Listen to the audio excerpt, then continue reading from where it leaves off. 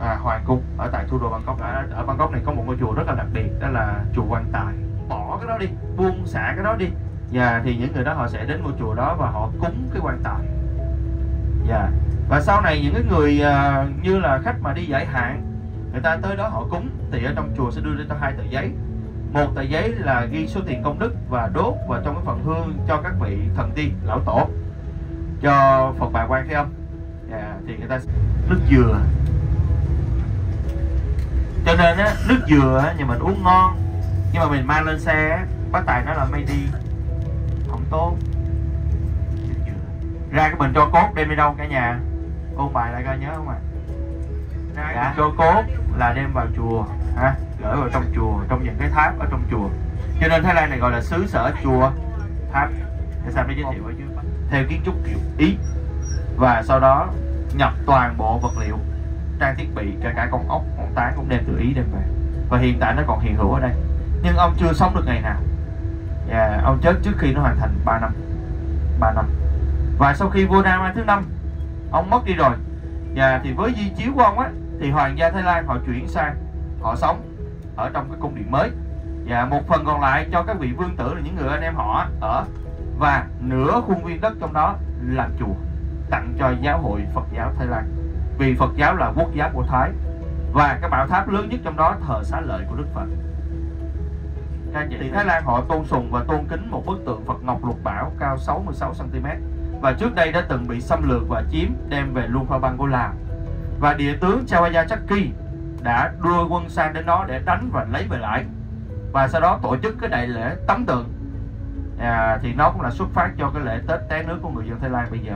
Songkran dạ. yeah và ngôi chùa đó được tên đặt chùa là Wat Sake ở chùa đó gọi là chùa đầu nguồn. Và tắm tượng xong đem bức tượng đó đem về trong hoàng cung thờ cho đến ngày hôm nay. Và địa tướng Chawaya Chakki sau này cũng chính thức là vua Rama đời thứ nhất. Có một con bộ lương viên rất là lớn tên là Wat Kemit hay gọi là Wat Thòn. À, Wat Thòn nghĩa là chùa vàng. Chùa quan tài bên tay trái các chị mới đi qua này. góc này, này. Cho những nhà sư tới để mà làm lễ và xin đem bức tượng đó cẩu lên. Rất là lạ xảy ra đó là không đem đi được. Bức tượng dạ. đó đặt lên trên chính điện ở trên thì là di chuyển một cách bình thường suôn sẻ. Và sau đó quyết định cho xây ba cửa.